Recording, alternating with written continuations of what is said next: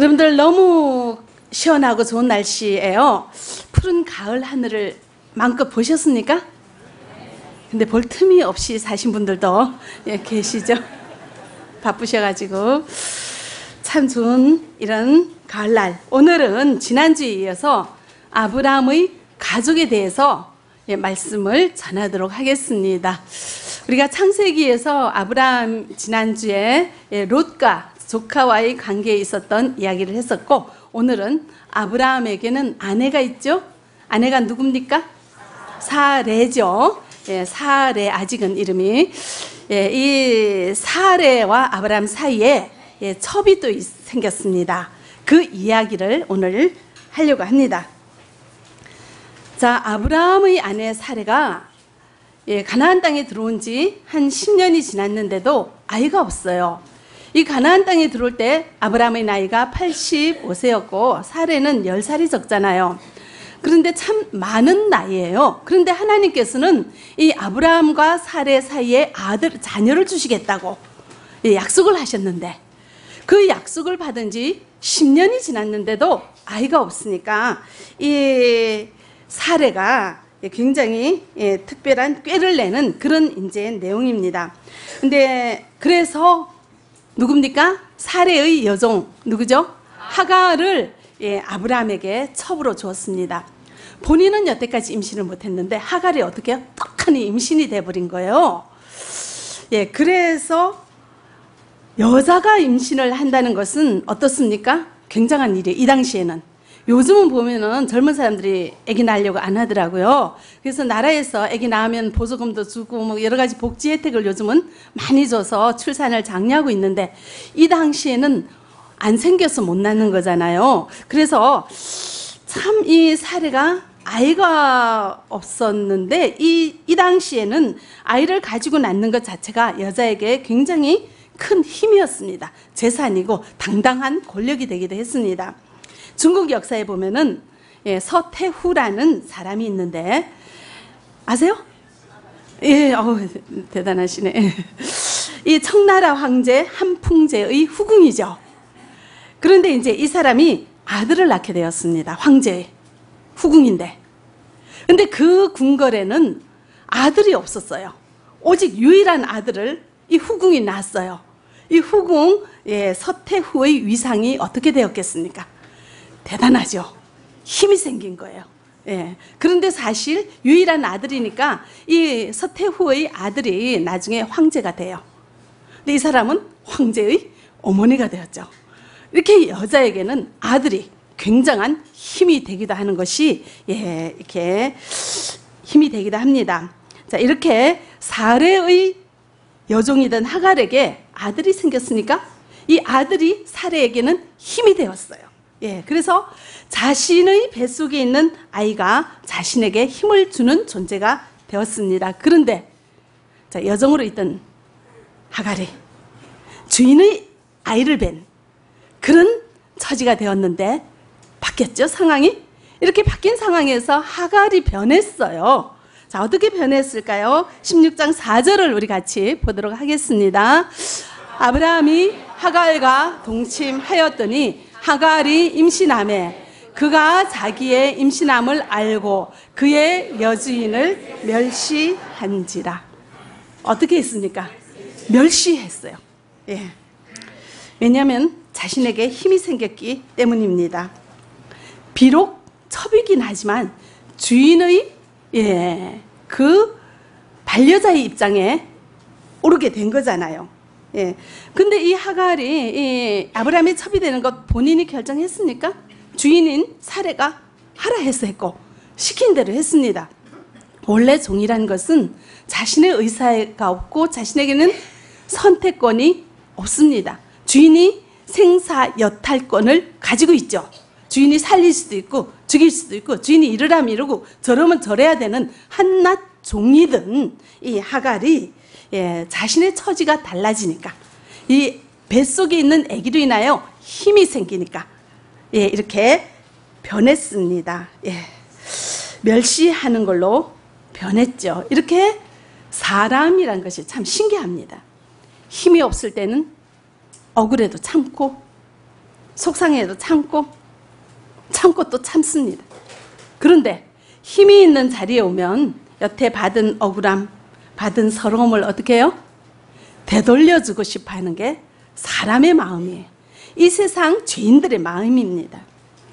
제가 텔레비전을 봤는데 어느 노부부의 일상을 보았습니다. 할아버지, 할머니가 이렇게 함께 살아가는 것을 근접해서 텔레비전에서 카메라로 찍어서 이제 소개하는 그런 프로였는데요. 참 항상 같이 다녀요. 그 나이 드신 할아버지 할머니가 시골에서 농사를 짓는데 할아버지가 계신 곳에는 항상 할머니가 계시고 같이 일하고 같이 밥 매러 가고 같이 시내 나가고 같이 밥 먹고 이런 일상을 카메라에 잔잔하게 담는 그런 감동 있는 프로였는데요. 할머니가 말을 하는 것을 가만히 들어보면은 참 신기하더라고요. 크게 말하지도 않아요. 저건, 저건, 저건 이렇게 이제 말씀을 하시는데요. 할아버지가 앞에 있는데 어떻게 말씀을 하시냐면은 그 말에 독이 있어요. 어떻게 하는가 하면은 아이고 이 영감탱이 늙으면 죽지 죽지도 않고 왜 이렇게 지지리도 오래 살아서 나를 이렇게 끝까지 힘들게 해 이러면서 할아버지에게 좋은 말을 안 해요. 늘 푸념을 하고 앞에 사람 대놓고 그렇게 무한하게 할 정도로 그렇게 막 저건 저건 하게 하면서도 저 영감탱이 빨리 안 죽고 뭐가 어쩌고 뭐가 어쩌고 야 그래서 그걸 보는 옆에 있는 사람 참 무한하잖아요. 그래서 PD가 그 할머니에게 물어봤어요. 할머니 늘 같이 다니시면서 왜 그렇게 할아버지 욕을 해요? 그랬더니 아이고 저 영감탱이 지금 내가 데리고 살아주니까는 망정이지 나 아니면 어디 가서 밥 먹을 것도 없다고 근데 왜 그래요? 그랬더니 저 사람 젊어서 얼마나 바람을 피는지 아냐고 그냥 술 먹고 예, 깽판 치고 욕하고 나 힘들게 한 거 생각하면 저 사람 옆에 놓고 있을 이유가 없대요. 그런데 자식 때문에, 오래 산 정 때문에, 부부란 것 때문에 내가 그래도 지금은 참고 데리고 살아주는 거래요. 그런 말을 함부로 막 하세요. 그런데요, 그런 욕을 들으면서도 바로 앞에서 할머니 앞에서 얼굴 보고 그 소리를 무한정 듣는 그 할아버지는 한마디 대꾸도 안 했어요. 그냥 가만히 계세요. 왜 그럴까요? 젊었을 때는 힘이 있었는데 지금은 힘이 없어요. 가만히 보면은 할머니가 일을 다 해요. 할아버지는 너무 술을 많이 드셔가지고 자기 몸 하나 지팡이 짚고 다니는 것도 힘들어요. 그 이제 별을 베도 아내가 더 힘 좋고 수레를 끌어도 아내가 할머니가 끌고 밥을 하는 것도 할머니가 하고 할머니 아니면은 이 사람은 이 할아버지는 먹고 살기 어려워요. 힘없는 자가 돼버렸어요. 젊어서는 할아버지가 힘 있는 자였는데 이제는 누가 힘 있는 자예요? 할머니가 힘 있는 자잖아요. 그러니까 이 할머니는 젊어서 힘없을 때 당했던 그 억울함과 예, 분노와 그 억압된 감정들이 어떻게 해요? 올라오는 거예요. 그 할아버지만 보면은 말을 안 하고는 못 사는 거예요. 얼마나 속상한지를 그거를 그냥 속에서 스물스물 올라오는 대로 얘기 다 해버려요.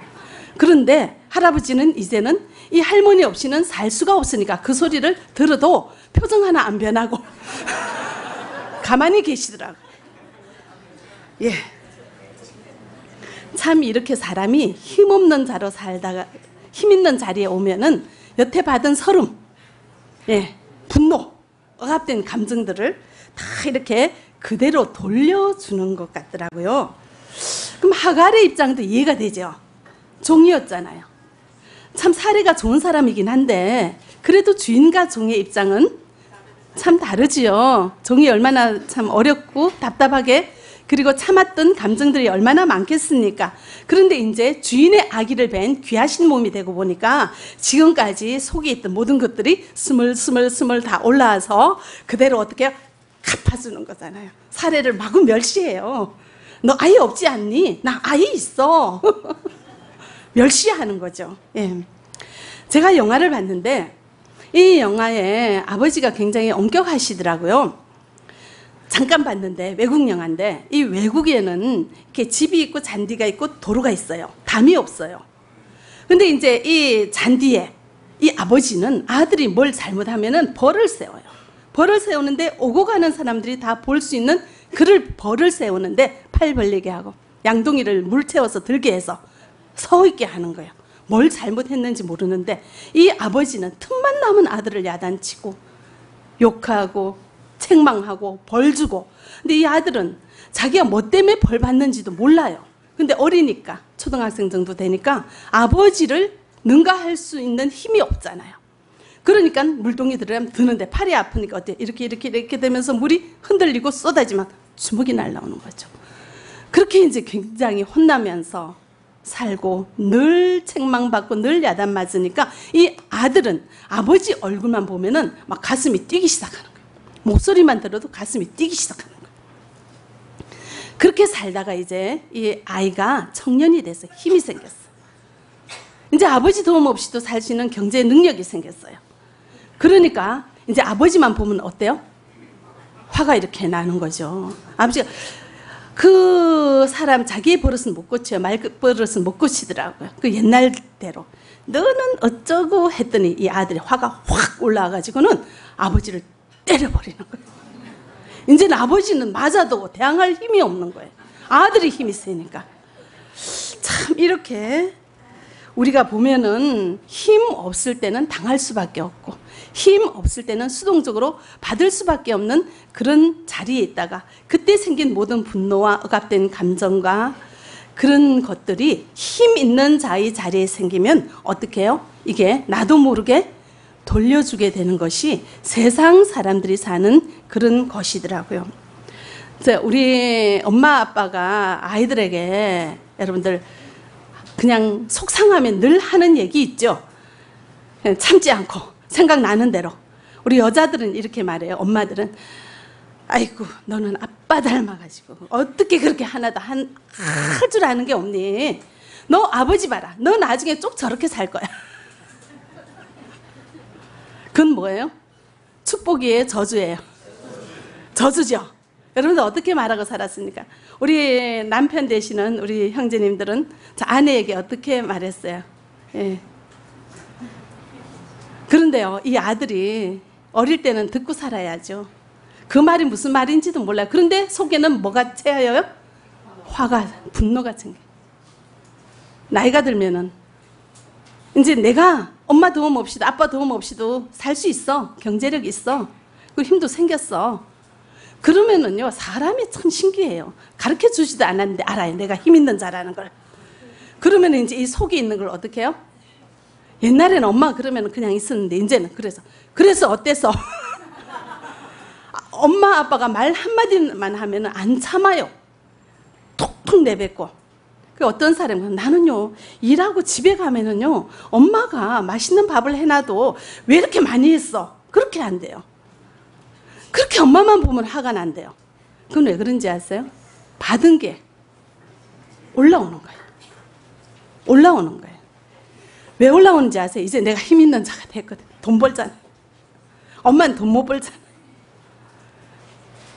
이렇게 자, 사람이 힘 없을 때는 받고 수동적일 수밖에 없지만 힘 있는 자의 자리에 가면은 내 속에 있는 분노를 표현하게 되는 것이 세상 사람들의 이치고 죄인들이 사는 방법이에요.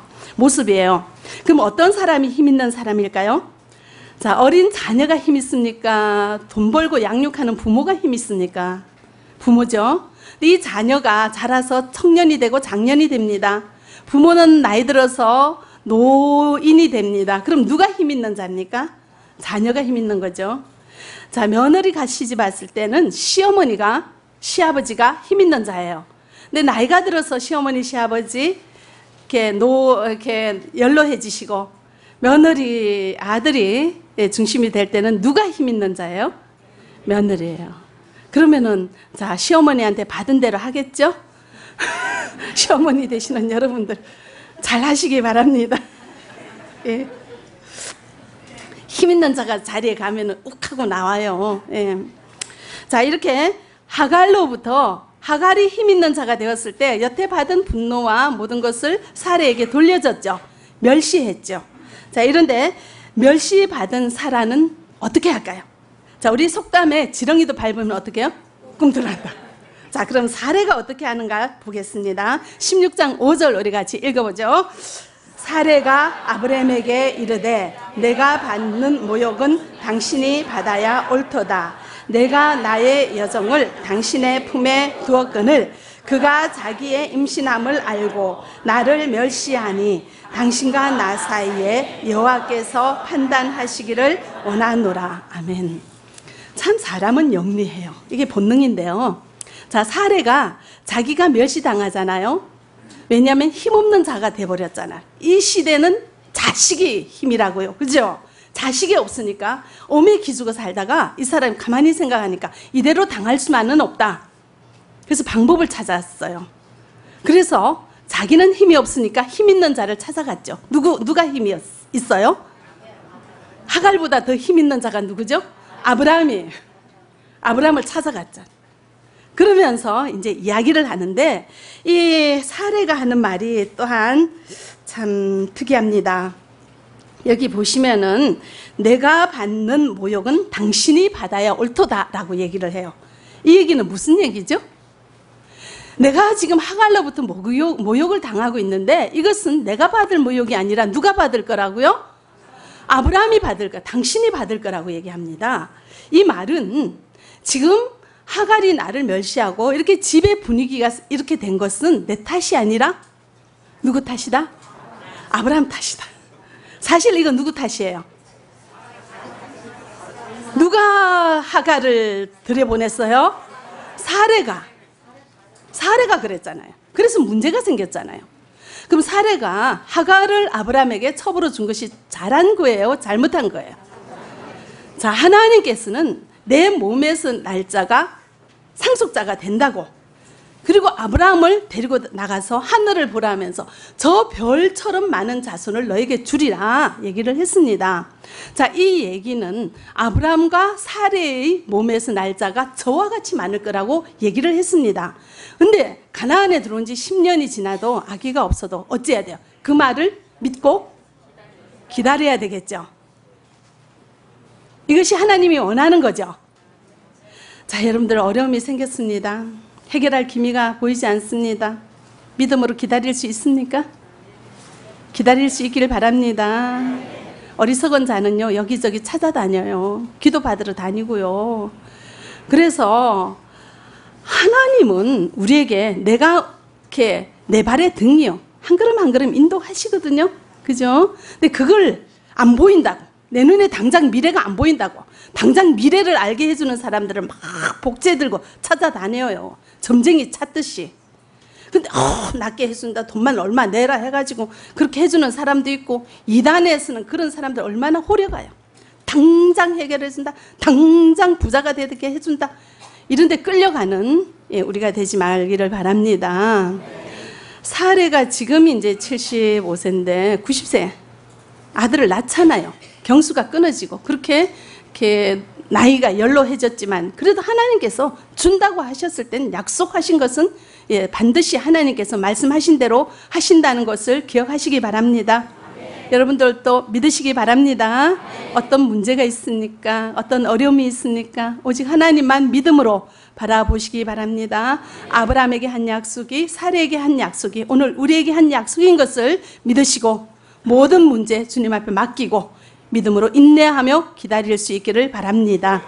근데 사례가 인간적인 방법을 썼죠. 꾀를 썼잖아요. 그 하가를 쳐버려 줬어요.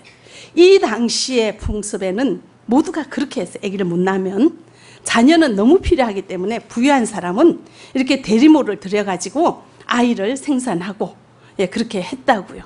그러니까 뭐 딴 사람들 저 집도 저렇게 하네, 이 집도 저렇게 하네, 사람들 다 이렇게 하는 게 이게 뭐 하나님 앞에 정당하다고 스스로 합리화를 하면서 예, 그런 방법을 썼죠.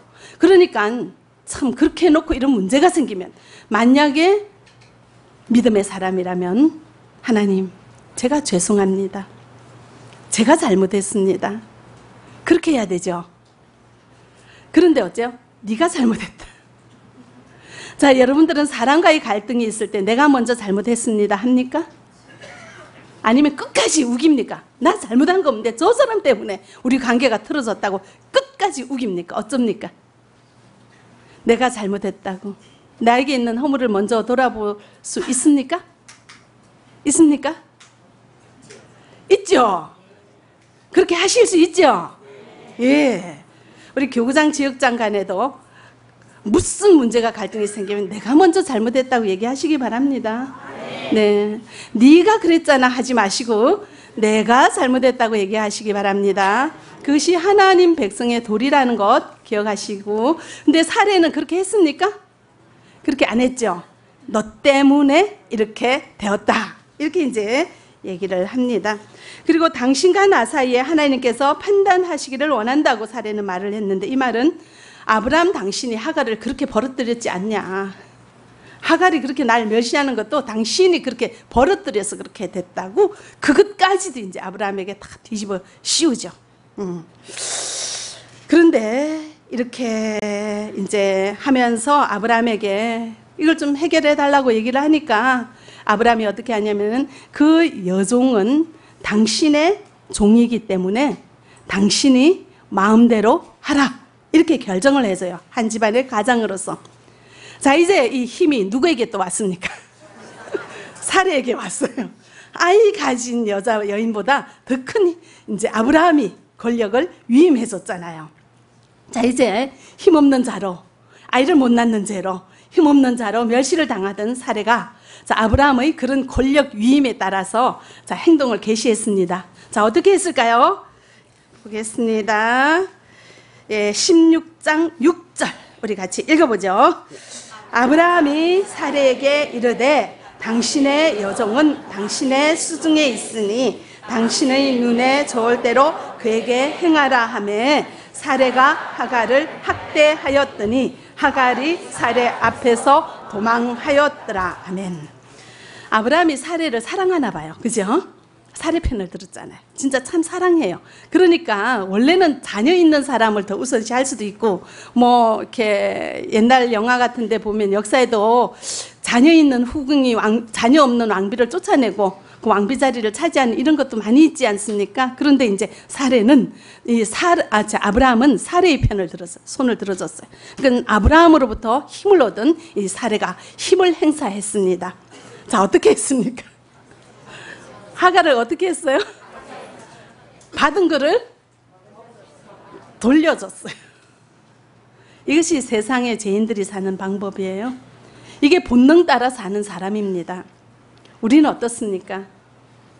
우리가 어릴 때 부모님들이 그 험한 환경 속에서 사느라 바쁘다 보면은 이런 말 저런 말 저런 말 이런 말 함부로 하다. 근데 그것이 나에게 상처가 되어서 지금까지도 고이고이 간직하고 있는 그런 아픔이 없는지 돌아보시기 바랍니다. 내가 힘 없는 자 되어서 받을 수밖에 없는 그런 자 되었을 때 받은 멸시와 무시가 없는지, 무시당한 것이 없는지 성찰해 보시기 바랍니다. 어떤 분은 제가 이런 얘기를 하면은요, 나는 없다고 얘기합니다. 왜냐면 너무 아프기 때문에 그걸 돌아보려고 안 해요. 아예 잊어버리고 살려고 해요. 근데 그런 무시받고 멸시받은 그 상처가 내 마음 속에서 절대로 잊혀지지 않아요. 그것은 반드시 내가 힘 있는 자가 되었을 때 나타나요. 누구에게 나타날까요? 내 주위에 있는 힘 없는 자에게 나타나요. 내가 어릴 때 그런 상처를 받았다면 어른이 되었습니다. 자, 어른이 되어서 힘 있는 자가 되었으면 내 주위에 힘 없는 자, 가장 가까이 있는 힘 없는 자는 누구입니까? 누구일까요? 우리 남자분들은 아내도 힘 없는 자가 될 수가 있고, 자녀가 힘 없는 자가 될 수가 있죠? 부모가 힘없는 자가 될 수가 있죠. 가정의 중심에 있을 때 우리가 그러면은 우리는 그거를 스물스물 올라오는 그거를 얘기하지 않고는 살 수가 없어요. 표현하지 않고는 살 수가 없어요. 꼭 표현을 합니다. 그걸 표현하지 않고 살면은 내가 정신분열증에 걸려요. 그래서 화를 많이 내는 사람은 결국 자기는 건강해요. 속을 다 푸니까. 근데 주위에 있는 사람이 고생을 하죠. 근데 그걸 안 푸는 사람은 자기가 힘들어요. 아파요. 여러분들 어떻게 살고 있습니까? 들어보시기 바랍니다. 나는 내가 받은 멸시가 내가 나에게 억압당한 감정이 없는지 자 성찰할 수 있기를 바랍니다. 어떤 사람 그런 거 없다 그래요. 근데 우리가 이 격동기를 지나면서 한국에서는 6.25를 지나고 이 어려운 시절을 지났고 중국에서는 전쟁을 치르 소수민족으로서 만주 땅에서 생존을 위해서 투쟁했던 그런 부모 밑에서 자란 우리들 예, 적당한 직업 갖기가 어렵고 술을 먹지 않고는 살 수 없는 이 동포 남자분들의 그런 형편 속에서 함께 살아가는 우리들에게 자, 내가 힘이 없어서 당한 무시와 멸시가 없을까요? 있습니다. 무엇인지 찾아보시기 바랍니다. 그것을 찾아야 돼요. 그것을 찾고 주님 앞에 드러내세요. 여러분들 앞으로 여러분들 가정이 여러분들 자녀가 주님 안에서 복되게 살기를 원하십니까? 그러면은 복의 근원 되시기를 원하십니까? 복을 나눠주는 자 되기를 원하십니까? 나에게 있는 그런 분노와 억압된 감정을 발견하셔야 돼요. 그걸 해결하셔야 돼요. 그래서 그래야지 내가 좋은 소리를 하는 사람이 되는 거예요. 그래야지 나로 인해 우리 가정이 세워지는 사람이 되는 거예요. 그래야지 나로 인하여 주님의 은혜가 흘러넘치는 도구가 되는 겁니다. 교회는 열심히 나와서 예배 드리는데 이 속에 그것을 찾지 못하고 금고의 보물처럼 넣어놔요. 그리고 절대로 인정하냐. 절대로 꺼내볼 생각을 안 해요. 그런데 이것이 안 나타날까? 나타나요. 독한 말로 나타나요. 걸핏하면 만만한 사람한테 쏘아붙여. 공격해요. 비난해요. 책망해요. 비방해요. 그것을 나도 모르게 언년 중에 풀려고 합니다. 꼭 발견하셔야 돼요. 그걸 아는 것이 가장 복이라는 것 여러분들 기억하시기 바랍니다. 하루아침에 이것을 우리가 고칠 수는 없어요. 그러나 내가 그것을 알고 인정하고 우리 가족들 간에 그것을 서로 나누면서 내가 이런 말을 해서 속상했지? 이제 이렇게 한번 서로 나누면 서로 이해하는 가족이 되고 서로 사랑하는 가족이 된다는 거 여러분들 기억하시기 바랍니다. 혹은 또 내가 힘 있는 자가 되었을 때 내가 마음대로 이 사례처럼 하갈처럼 힘 없는 자를 무시하고 멸시하고 공격한 적은 없는지 돌아볼 수 있기를 바랍니다. 이렇게 우리의 처지를 돌아보셔요. 그래서 내가 어떻게 살고 있는지, 내 속에 감춰진 이 억압된 감정은 무엇인지, 이것을 돌아보고 그것을 주님 앞에 내어놓고 주님 제가 이래 이래해서 이런 마음이 있네요. 주님 도와주십시오. 이 마음으로 인하여 나의 아내가 나의 자녀가 나로 인하여 상처받지 않고 살아갈 수 있도록 우리 주님 도와주십시오. 고백하시기 바랍니다. 그것을 고백하면 우리는 주님과 함께 살아가는 자가 될 것이고 주님의 방법대로 살아가는 자가 될 것입니다. 죄인의 본능 따라 우리 사례는 살았어요. 그렇지만 하나님께서는 이런 사례의 가정, 사례의 모든 얼마나 싫습니까? 이것은 세상 사람들이 사는 방법대로 지금 사례가 살고 있는데 하나님께서는 이런 사례를 버리지 아니하시고 이런 아브라함 가정을 버리지 아니하시고 강권적으로 훈련하시고 강권적으로 믿음을 다하여 주셔서 결국은 백세 이삭이라는 독자 아들을 낳게 하시고 그로 인하여 그 자손이 티끌처럼 많아지도록 하나님께서는 하셨습니다.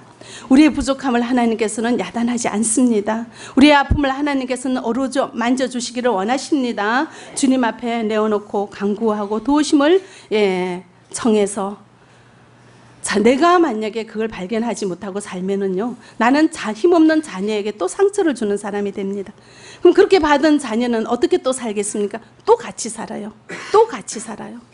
그렇게 해서 이 우리 가정의 불운이 불행이 대를 이어서 내려가게 되는 것입니다. 자, 그런 모든 불행은 우리 대에서 끊어버리시기 바랍니다. 거두어버리시기 바랍니다. 그러려면 내가 어떻게 말하고 생각하고 살고 있는지 발견하셔야 돼요. 나에게 어떤 분노가 있는지, 어떤 독한 말을 하는지, 내가 힘 있을 때 어떤 사람에게 얼마나 멸시하고 있는지, 내가 힘 없을 때 받은 상처가 무엇인지 돌아보는 은혜가 있기를 원합니다. 자, 이렇게 힘 있을 때 사례가 어떻게 했어야 됐을까요? 이제 아브라함에게 권력을 님 받았잖아요. 네 마음대로 해라 했을 때 어떻게 했어야 됐을까요? 받은 대로 이렇게 학대해야 됐을까요? 하나님은 뭘 원하실까요? 용서하고 자기는 멸시를 받았지만 이 사례는 하가를 존중하고 그죠? 함께 살아가는 아름다운 가정이 되도록 해야 되겠죠. 근데 그렇게 못했잖아요. 그래도 하나님께서는 이 사례를 열국의 어머니로 세우셨다는 것입니다. 약속하셨기 때문에 그렇습니다. 자, 우리는 오늘 돌아볼 수 있기를 바랍니다.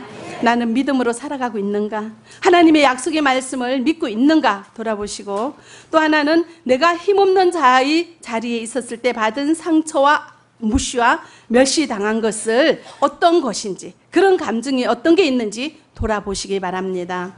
내가 힘 있는 자의 자리에서 어떻게 행동하고 말하고 살아야 되는지 돌아볼 수 있기를 바랍니다. 그래서 나를 통하여 하나님의 은혜가 흘러 넘치는 도구가 되어지며 여러분들의 가정이 대대손손 복되고 아름다운 가정이 되도록 여러분들 예, 할 수 있기를 바랍니다.